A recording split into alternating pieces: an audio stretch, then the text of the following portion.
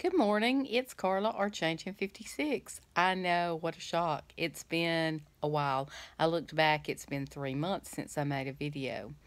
I started keto in um, January and I did really well for um, for a time.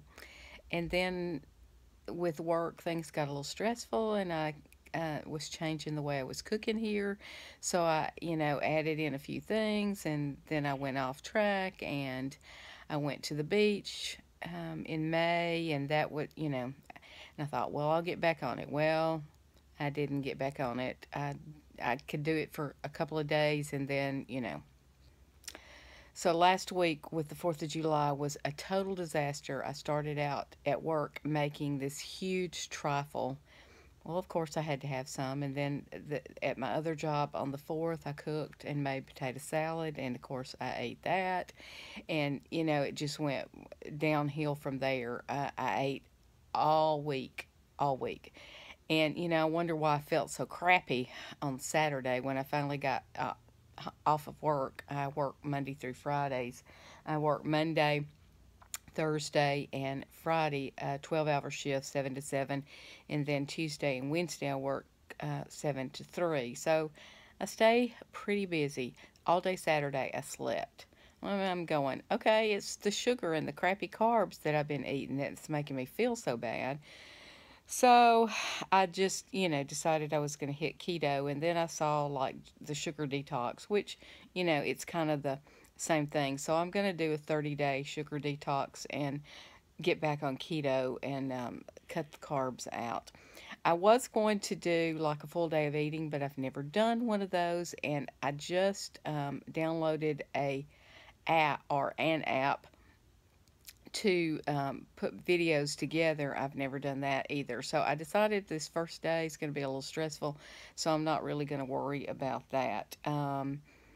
Going back for those of you who haven't seen me in a while or don't remember, I had gastric bypass in June of 2012 and I initially lost about 100 pounds, got way too small, and I've gained back up. Um, last week I was 140, today I was 144.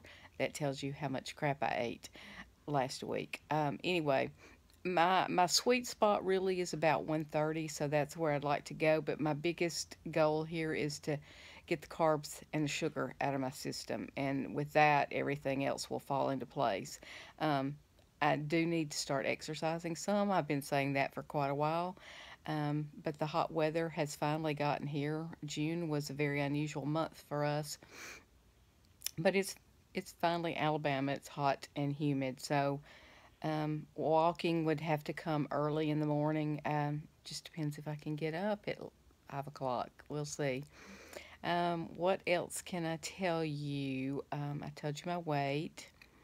Um, I've been working. That's pretty much it. Um, here, I'm with a lady that has Alzheimer's. She and her, with she and her husband. Uh, he uh, mentally is fine um, but it, it can be extremely stressful sometimes. Um, my other place that I work on Tuesday and Wednesday is kind of like a vacation. She is 95, but uh, mentally she's fine. Um, she reads a lot. She does puzzles.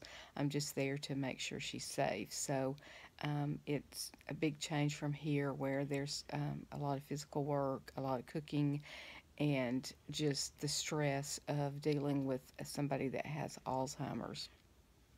Um, other than work, that's pretty much it. I did go to the beach in May with my cousin. It was her 60th birthday. We went last year for my 60th birthday.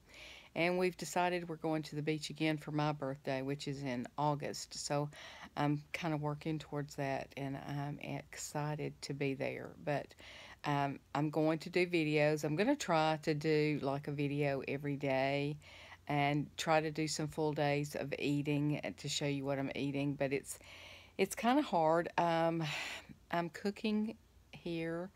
If I can get to where I meal prep or at least prep my snacks and have something to grab that that's not, you know, at home I don't have food but at the places I work, there's always something to eat. So I need to make sure that I'm prepared and that I have um, snacks and food to eat. Um, usually, when I cook, I can do some meat or some kind of protein for me and some vegetables with whatever I do for them. So that's my goal is to get back into um, no carbs, no sugar, just get back to clean eating. I feel so much better when I do that.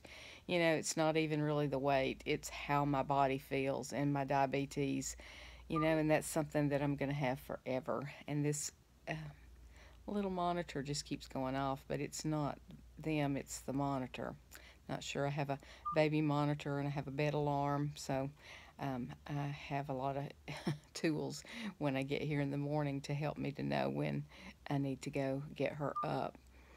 Anyway, so that's my day. I'm, I started off this morning with um, bulletproof coffee. I tried to make a video with that, and I thought I had the camera on. I did not, um, but I, I, use Kerrygold butter, uh, heavy whipping cream, and I do use Splenda Zero, the liquid Splenda Zero. I probably need to get away from that as well, but we're going to take this one step step at a time. We're going to get rid of the the real sugar and the um, carbs first and we'll see how it goes from there. Okay, if I think of anything else, I will come back and maybe I can put some videos together and I might try um, some more today uh, with what I'm eating, but we'll see. Okay, that's it. Um, thanks for your support. Thanks for it really helps making the videos, whether it helps you or not. It helps me. It kind of keeps me accountable. Everybody pretty much says that. So it's been it's been a while since I've um, done videos. So here I am, and hope you have a great day. Talk to you later. Bye.